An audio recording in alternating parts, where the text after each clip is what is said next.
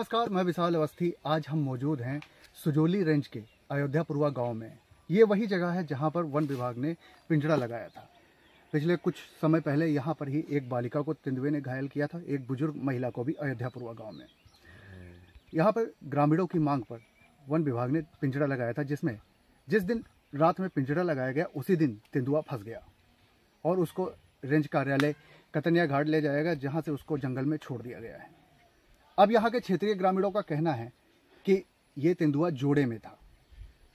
एक तेंदुआ तो चला गया लेकिन अब दूसरा तेंदुआ यहाँ पर हाहाकार मचा रहा है जो कंटिन्यू पिछले दो दिनों से रात में आता है और पालतू मवेशियों और बच्चे को देखकर उनकी तरफ़ दौड़ता है। क्षेत्रीय ग्रामीण सुरक्षा की मांग वन विभाग से कर रहे हैं। ये देखिए हमारे पीछे आम का पेड़ है। ग्रामीणों के मुताबिक इस आम के पेड़ पर सुबह चार बजे तड़के यहाँ पर तेंदुआ चढ़ा हुआ था और उसने पेड़ को खरोचा भी है। लेकिन डाल गिर गई, जिससे एक बार फिर तेंदुआ भाग गया।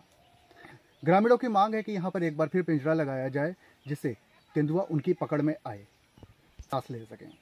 गाँव में अंधेरा रहता है, जिसको देखते हुए वहाँ यहाँ के क्षेत्रीय प्रधान है राजेश गुप्ता जी। उन्होंने यहाँ पर कुछ लाइटें भी लगवाई हैं, जिससे उजाला हो रहा है। लेकिन ग्रामीणों के मुताबिक वो पर्याप्त नहीं है, क्योंकि लाइट जाती है तो अंधेरा हो जाता है। ग्रामीणों ने इस दौरान वन विभाग से दरख्वास्त की है कि जो भी तेंदुआ प्रभावित क्षेत्र है, ये अयोध्या अयोध्यापुरवा गाँव, जहाँ पर अंधेरा रहता है और संभावित हमले हुए हैं जहाँ पर तो वहाँ पर भी सोलर लाइट का लगवाई जाए, जिससे उनको राहत मिल सके जंगली जानवरों से। और ये जंगल से सटे क्षेत्र हैं। और सबसे ज़्यादा यहाँ पे मुसीबत यह है कि सबसे ज़्यादा गन्ने की फ़सल की खेती होती है, और घर के अगल बगल गन्ने लगे हुए हैं, और वो तेंदुओं के आश्रय स्थल बन चुके हैं। गन्ने के खेत तेंदुए के आश्रय स्थल बने हैं, जिसके चलते वो गन्ने के खेत से रात में निकलकर अपने शिकार की तलाश में आबादी क्षेत्रों में आ जाते हैं और लगातार आबादी क्षेत्रों में आके पालतू मवेशियों और क्षेत्रीय बच्चे जो हैं, छोटे बच्चे हैं, उनको नुकसान पहुंचाते हैं, जिसपे कई बार कैजुअल्टी भी हो चुकी है।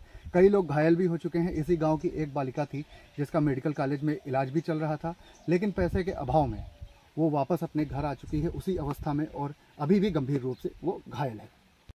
चार बजे रात भी हैं। हम्म। पेड़ पे चढ़ा था। हम्म। उनके बहाव उनके आम के पेड़ पर हम्म। चार बजे के टाइम में हैं। हम आए थे देखे और भाग गए घरे बस। अच्छा इससे पहले यही पकड़ा गया हाँ यही थी पकड़ा गया था वो सेंटर पर। हाँ और फिर वही हमला दूसरा आ गया चंदुहा। यानी ये जोड़ा था हाँ, जो हाँ, जोड़ा है जोड़ा है भैया। हाँ चार बजे टाइम में हाँ, अच्छा तो क्या मांग है आप लोगों हाँ, की पिंजरा लगा दे बस बात खत्म हो क्या करना यानी उसको पकड़े। हम्म। हाँ बस गोला वोला दे दे। पिंजरा लगा दे बस और क्या दिक्कत ठीक है। आपका? सफदर अली। गाँव का नाम? जद्दापुरवा। क्या समस्या है यहाँ गाँव की? जानवर आते हैं इधर एक गन्ना की तरफ़ से। हम्म। तो तो कब देखे थे? लेकिन उनको दिक्कत रहता है। अच्छा तो कब देखे थे जानवर?